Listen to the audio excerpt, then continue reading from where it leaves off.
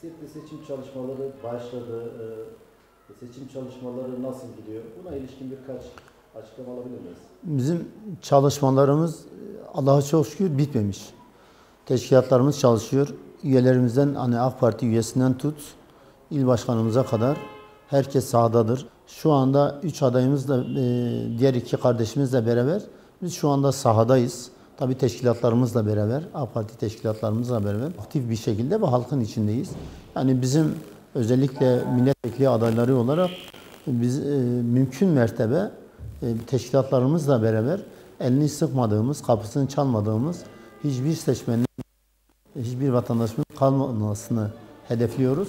Ve şu anda çalışmalarımız bu meyanda devam ediyor. Şimdi bildiğiniz gibi biz e, 94'ten bu yana aktif siyasetin içindeyiz. Halk da bizi biliyor. Yani aday olsak olmasak e, vatandaşla birebir biz sürekli temas halindeyiz. Allah'a çok şükür halkımız bizi çok iyi tanıyor, çok iyi biliyor. E, biz e, hani Siirt'i hani biliyorsunuz ben geçmişte Siirt Belediye Başkanlığı'nı yaptım. Yani Siirt'in e, sokaklarını, caddelerini yani Güre Caddesi'ni bildiğimiz gibi e, Suyuka Meydanı'nı da biliyoruz. E, Dadoka Meydanı'nı da biliyoruz. E, tabii bunun yanında e, biz ilçelerimizi ve köyleriyle beraber biliyoruz. Yani Erhut'tan tut, e, Pervari'ye kadar, Şirvan'dan tut, e, Baykan'a kadar, Kurtalan'dan tut, Tilo'ya kadar e, Allah'a çok şükür bilmediğimiz hiçbir köyümüz, hiçbir yerleşim alanımız yoktur. Yani Allah'a çok şükür biz mesela meydana indiğimiz zaman e, vatandaşımız, halkımız bizi çok iyi tanıyor. Özellikle biz hiçbir zaman vatandaşla e, yani böyle kopuk bir yaşantımız olmadı. Biliyorsun 94'ten bu yana hani belediye başkanlığı sürecimizde e, geçmişte milletvekili adaylığımız döneminde de ve kazanmamız durumunda da biz hiçbir zaman halkımızdan kopuk yaşamadık ve Siirt'te yaşıyoruz. Halinde Siirt'teyiz. E, bütün çalışmalarımız, şeyimiz Siirt'tedir. Yani özellikle benim yani böyle bir rahatlığım var. E, Siirt'le tamamıyla iç içeyiz yani. Mesela herhangi bir vatandaşımızın bir tazesi olduğu zaman biz kesinlikle e, o ayrımı da yapmıyoruz. Hani bu vatandaşımız, bu kardeşimiz AK Partilidir veya diğeri farklı bir düşüncededir. Öyle bir ayrı ve gayrimiz bugüne kadar olmamıştı ve bundan sonra da Allah'ın izniyle olmayacaktır. Hem onların böyle üzüntülü günlerinde onların yanında olmuşuz. Neşeli mesela düğün zamanları neşeli günlerinde de onlarla beraber olmuşuz. Yani biz Siirt'in havasını birebir teneffüs ettiğimiz gibi vatandaşlarımızla bile teneffüs ediyoruz. Allah'a çok şükür halkımız bizi tanıyor, biz de onları tanıyoruz. Siirt halkının talebi sizlerden. Şimdi azizim. Yani biliyorsunuz vatandaş beni birebir tanıyor. Yani vatandaş beni görünce yani kendinden biri olarak şey yapıyor ve rahat bir şekilde de sorunlarını bize anlatıyorlar. Yani en büyük biliyorsunuz hani bu e, Türkiye genelinde böyle bir şey var ve Siirt'te de bir işsizlik sorunu var. Genelde talepleri iş konusundadır. Ben de zaten kendime bir hedef koymuşum. Yani nasıl geçmişte belediyede önümüze bir hedef koyduğumuz zaman o hedeflerin Allah'a Allah'a binlerce şükürler olsun. Onların çoğunu yerine getirdik. Sadece o gün ben belediye başkanı iken gerçekleştirmediğim bir hedefim vardı. O da neydi? Kentsel dönüşümdü. Tabii o günkü şartlar biraz daha farklıydı.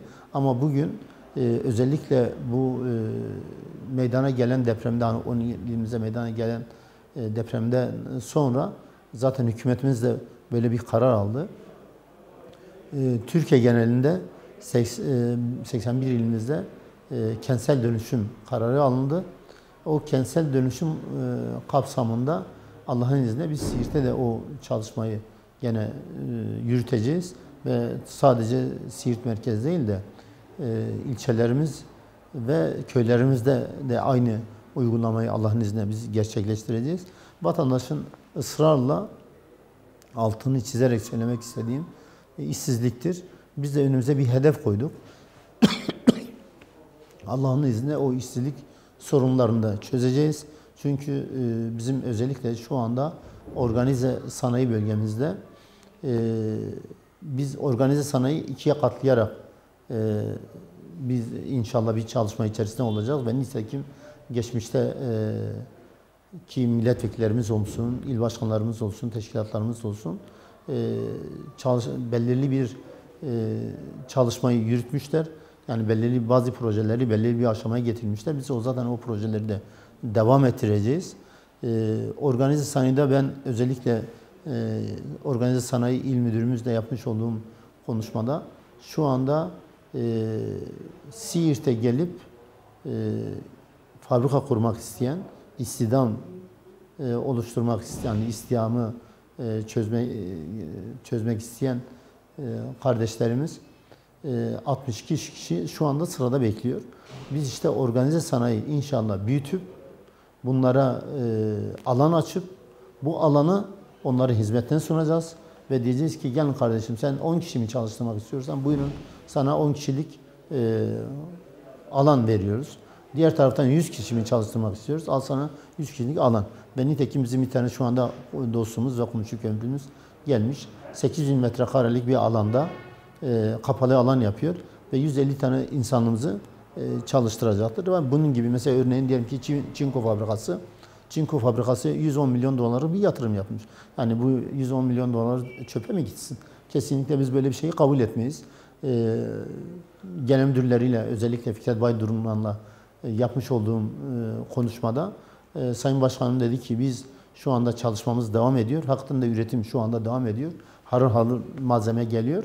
E, Biz e, bayramdan sonra e, Allah'ın izniyle kapasiteyi biraz daha artırıp ve çalışmaları çalışmalarımız devam edecektir. Ee, özellikle Siirt'te e, kim yani bunu e, belirtmek istiyorum. Kim e, istihdama yönelik bir çalışma yapmak istiyorsa biz sonuna kadar onun arkasına olacağız.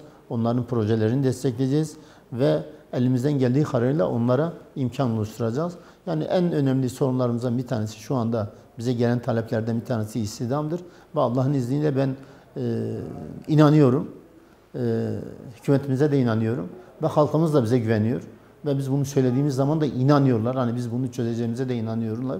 Ve özellikle AK Parti hükümetimize de güveniyorlar. Gene diyorlar ki yani bu işi çözebilecek olan sadece e, Sayın Cumhurbaşkanımız Tayyip Erdoğan'dır. Ve ben de inanıyorum biz bunu çözeceğiz. İstihdam olayını çözeceğiz. Ve e, yani ben işsizim e, ve çalışmak da istiyorum diyen herkese Allah'ın izniyle biz iş imkanını sağlamaya çalışacağız.